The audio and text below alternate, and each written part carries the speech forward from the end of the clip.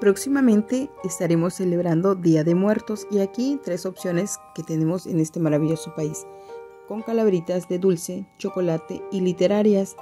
Aquí te dejé una calaverita literaria, espero la hayas disfrutado, que la puedas leer. Si te gusta, coméntame en este video, dale me gusta y sigue en mis redes sociales. Y si te interesa el molde para hacer calaveritas de chocolate, también contáctame y te digo cómo adquirirlo.